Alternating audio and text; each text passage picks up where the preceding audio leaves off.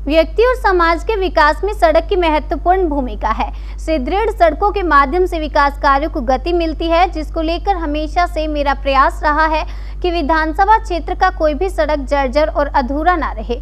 उक्त बातें बनियापुर राजद विधायक केदारनाथ सिंह ने हाफिजपुर में मुख्यमंत्री ग्राम संपर्क योजना अंतर्गत दो ग्रामीण सड़कों के निर्माण कार्य का शिलान्यास करने के उपरांत मौके पर उपस्थित जनसमूह को संबोधित करते हुए कही। तिरानवे लाख एवं सत्ताईस लाख की लागत से बनने वाली लगभग दो किलोमीटर लंबी सड़क निर्माण से हज़ारों लोगों को सीधे तौर पर आवागमन का लाभ मिलेगा। साथ ही बरसात के मौसम में कीचड़ से भी निजात मिलेगी। इससे पूर्व आचार्य पंडितों की मौजूदगी में वैदिक मंत्रोच्चारण के साथ सड़क का विधिवत शिलान्यास विधायक के कर कमलों से किया गया।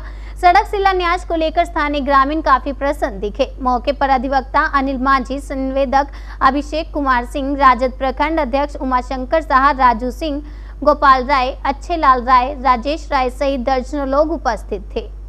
डी इलेवन टीवी के लिए बनियापुर से संजय सिंह की रिपोर्ट।